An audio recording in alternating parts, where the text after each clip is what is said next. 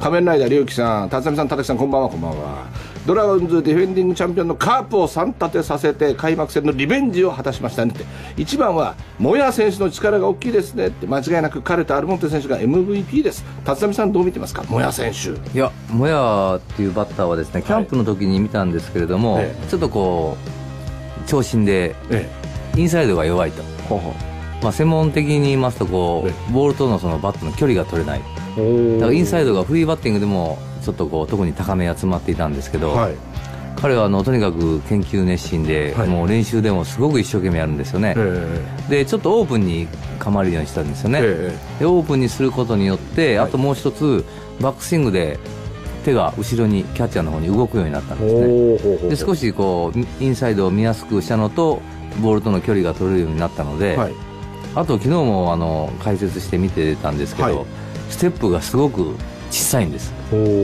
ちゃんとやっぱり打ってるバッターっていうのはたまたまじゃなくて、ええ、自分のポイントまでボールを呼び込めて打ててるので、ええ、なんかビシエドよりいいのかなと。まあ当然今はちょっとできすぎですけど、はい、楽しみな選手ですよね。あのここまでの成績が13打数9安打打率6割9分に、まあ、これはもうねすごいなこれ、まあ、3試合ですから、え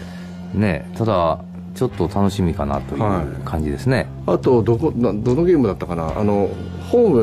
で、ね、スライディングして、はい、スライディングして、まあ、明らかにタイミングはアウト。なのに立ち上がった瞬間にリクエスト要求してビデオ判定してくれって言って、はい、あの辺のなんかこう積極性というか。いやもう本当にそのなんていうんですかね練習する姿勢とかそういう試合に対するね、勝ちに対する執念とか、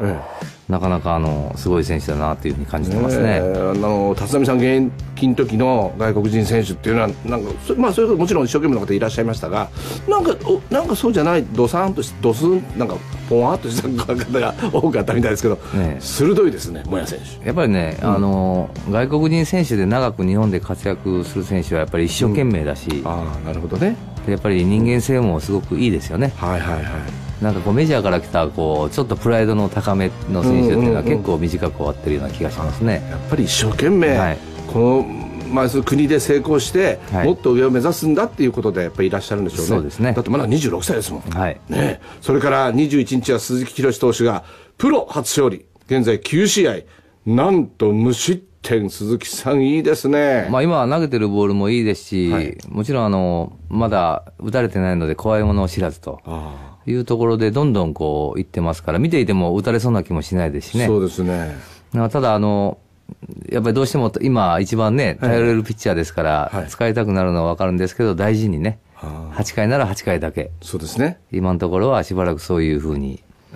した方がいいんじゃないかなと思いますね。まあ、傾向としては、時々ね、僕らも見てて、あここで変えた方がいいんじゃないかとか、今日投げるのみたいな。先週もお話ししましたけどね、そうじゃなくても大事に大事に。もうまっすぐのキレで勝負するタイプのピッチャーですからね。はい、あの、20日の、えっと、まあ、これ勝ったんですけど、ええっと、ゲームでね、伊藤純喜さん、あの、が勝ち勝ち投手になったけど、小笠原さん投げて、はい、あれ、小笠原さん、あそこでなぜ変えなかったかあれ変えなくていい。先発してて。もうあと、あそこで変えといたら、小笠原さん。まあでも、小笠原も前回もそうですけど、うん、ね、6回、7回あたりで必ず点取られてますから、ただやっぱり彼には最低7回はね、えー、あの自分の責任として、えー、責任イニングとしてね、ははは投げてもらいたいですね。じゃあ7回までは。じゃないと、毎回6回で変わるような癖になってしまいますからね。そっかそっか、ね、僕たちとしてはもうここで変えたったらもう勝ちつくのにとか思うんですけど、そうじゃなくて、ね、やっぱりエース、これから背負って立つから、はい、7回までは投げ大体6回、7回でね、点取られるケース多いですから、これをやっぱり打破しないと。そうですね。はい。もう僕、小笠原さん大好きなので、ぜひね、たくさん勝ってほしいんですけども、そして4月19日の阪神戦、松坂投手が本当に執念のピッチングして7回2失点、気迫の123球。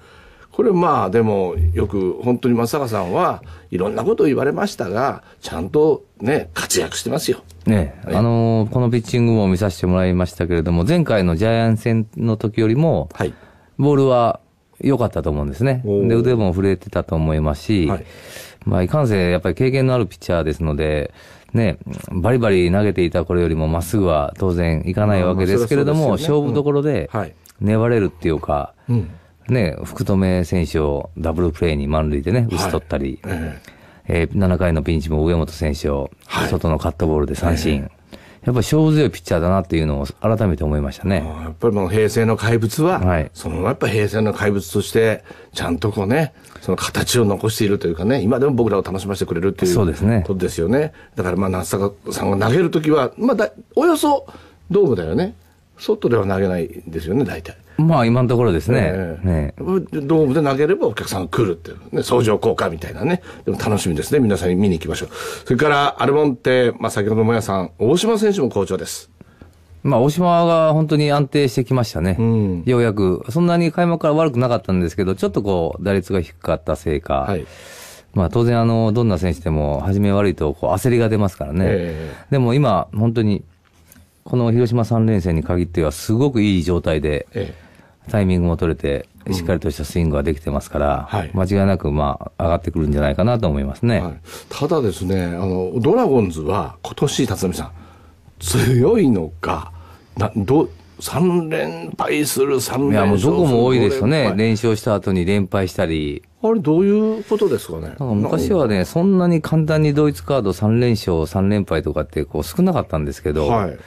ぱり一つ、初戦で、なんかこう、逆転されたり、はい、そういうことがあると、必ずその流れで、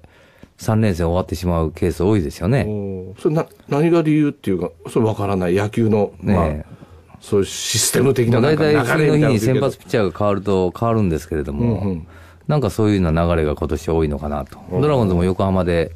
ね、はい、逆転されて、はい、えー、確か7回ですかね、えー、そのまま3連敗しましたよね。ねえ。ねなんか、でも DNA 強いですね、やっぱ。DNA が一番戦力的に今一番充実してるのかなと。カープは今年、やっぱ後ろのピッチャーも弱いですし、はい昨年ほどの強さを感じないと言いましょうかね。ああ、そうすると、ね、十分チャンスありますよね。まあ今からその順位のこと言ってもなんでございますが、ジャイアンツもああいう感じなので、はい。で、阪神もあんな感じじゃないですか。そうなんですよ。そうすると、DNA と ?DNA と広島。広島。で、ヤクルトもまああんな感じ。ええ、ってことはそんな感じですから。ドラゴンズは。まあ本当に、あの、かなりじゃあ。全然 A クラスっていうのはね、狙える戦力だと思いますし、えまあ DNA もどうなるか先わからないですからね、はい、十分今年はチャンス、どこのチームにも今のところ、首位まで3ゲーム差ですから、はい、あると思いますね。あと投手陣が、やっぱりこの、何、新しい、鈴木さんもそうですし、まあ、こっからガガッとまたこう伸びしろがあって、後半に向けて伸びてくるドラゴンズね、はい、感じがするので、その辺ちょっと頼りがいがあるんじゃないですか、今週多分大野とかね、ね投げますし、その辺がちょっと頑張ってくれれば非常に先発も揃ってきますし、はい、楽しみかなと思いますね。あれ？じゃあもしかして、A クラスとかそんなこと言ってる場合じゃなくて、優勝？もう全然狙えると思いますね、今年の。やっぱ DNA がちょっとこう強いのかなっていう感じはありますけど。あの野球評論家の皆さん、始まる前は5位だの6位だのいろんな予想してくれましたが、優勝もあるぞと。全然狙える今年はチャンスじゃないかなと思いますね。皆さんこれ、やっぱりドームに行かないかんです。小笠原も前回もそうですけど、うん、ね、6回、7回あたりで必ず点取られてますから、ただやっぱり彼には最低7回はね、えー、あの自分の責任として、えー、責任イニングとしてね、投げてもらいたいですね。じゃあ7回までは。じゃないと、毎回6回で変わるような癖になってしまいますからね。そっかそっか、ね、僕たちとしてはもうここで変えたったらもう勝ちつくのにとか思うんですけど、そうじゃなくて、ね、やっぱりエース、これから背負って立つから、はい、7回までは投げ大体6回、7回でね、点取られるケース多いですから、これをやっぱり打破しないと。そうですね。はい。もう僕、小笠原さん大好きなので、ぜひね、たくさん勝ってほしいんですけども、そして4月15日の阪神戦、松坂投手が本当に執念のピッチングして7回2失点、気迫の123球。これまあでもよく本当に松坂さんはいろんなことを言われましたが、ちゃんとね、活躍してますよ。ね、ね、あのー、このピッチングも見させてもらいましたけれども、前回のジャイアン戦の時よりも、はい、ボールは良かったと思うんですね。で、腕も震えてたと思いますし、はい、まあ、いかんせんやっぱり経験のあるピッチャーですので、ね、バリバリ投げていた頃よりもまっすぐは当然いかないわけですけれども、勝負どころで、楽しみな選手ですよね。あのここまでの成績が13打数9安打、打率6割9分に、まあ、これはもうね、すごいなこれ。まあ、3試合ですから、ええ、ね、ただ、ちょっと楽しみかなという感じですね、はい、あとどこどのゲームだったかな。あのホームで、ね、スライディングして、はい、スライディングして、まあ、明らかにタイミングはアウト。なのに立ち上がった瞬間にリクエスト要求してビデオ判定してくれって言って、はい、あの辺のなんかこう積極性というか。いやもう本当にそのなんていうんですかね練習する姿勢とかそういう試合に対するね、勝ちに対する執念とか、なかなかあのすごい選手だなというふうに感じてますね。あの立浪さん現役の時の外国人選手っていうのはなんかまあそれももちろん一生懸命な方いらっしゃいましたがなんかおなんかそうじゃないドサンとしドスンなんかポワーっとした 方が多かったみたいですけど、ね、鋭いですねモヤ選手。やっぱりね、うん、あの外国人選手で長く日本で活躍する選手はやっぱり一生懸命だし、うん、ああなるほどね。やっぱり人間性もすごくいいですよね。はいはいはい。なんかこうメジャーから来たこうちょっとプライドの高めの選手っていうのは結構短く終わってるような気がしますね。やっぱり一生懸命、はい、このまあ、国で成功して、もっと上を目指すんだっていうことでやっぱりいらっしゃるんでしょうね。そうですねだってまだ26歳ですもん。はい、ね、それから21日は鈴木宏投手がプロ初勝利、現在9試合、なんと無失点、鈴木さん、いいですね。まあ、今投げてるボールもいいですし、はい、もちろんあの、まだ打たれてないので、怖いものを知らずというところで、どんどんこう、いってますから、見ていても打たれそうな気もしないですしね。そうですね。ただ、あの、やっぱりどうしても今、一番ね、頼れるピッチャーですから、はい、使いたくなるのは分かるんですけど、大事にね、8回なら8回だけ。そうですね。今のところはしばらくそういうふうに。ええした方がいいんじゃないかなと思いますね。傾向としては、時々ね、僕らも見てて、あここでか変えた方がいいんじゃないかとか、今日投げるのみたいな。先週もお話ししましたけどね、まあ、そう、ね、じゃなくても大事に大事に。もうまっすぐのキレで勝負するタイプのピッチャーですからね。はい、あの、20日の、えっと、まあ、これ勝ったんですけど、ええっと、ゲームでね、伊藤純喜さん、あの、が勝ち勝ち投手になったけど、小笠原さん投げて、はい、あれ、小笠原さん、あそこでなぜ変えなかったかあれ変えなくていい。先発してて。もうあと、あそこで変えといたら、小笠原さん。まあでも、仮面ライダー龍樹さん、辰巳さん、田崎さん、こんばんは、こんばんは。ドラゴンズディフェンディングチャンピオンのカープを3立てさせて、開幕戦のリベンジを果たしましたねって。一番は、モヤ選手の力が大きいですねって、間違いなく彼とアルモンテ選手が MVP です。辰巳さん、どう見てますか、モヤ選手。いや、モヤっていうバッターはですね、キャンプの時に見たんですけれども、はい、ちょっとこう、長身で、インサイドが弱いと。ほうほうまあ、専門的に言いますとこう、ボールとのそのバットの距離が取れないだからインサイドがフリーバッティングでもちょっとこう特に高め集まっていたんですけど、はい、彼はあのとにかく研究熱心で、はい、もう練習でもすごく一生懸命やるんですよね、でちょっとオープンに構えるようにしたんですよね、でオープンにすることによって、あともう一つバックスイングで手が後ろにキャッチャーの方に動くようになったんですね。で少しこうインサイドを見やすくしたのとボールとの距離が取れるようになったので、はい。あと昨日もあの解説して見てたんですけど、はい、ステップがすごく小さいんです。ちゃんとやっぱり打ってるバッターっていうのはたまたまじゃなくて、ええ、自分のポイントまでボールを呼び込めて打ててるので、え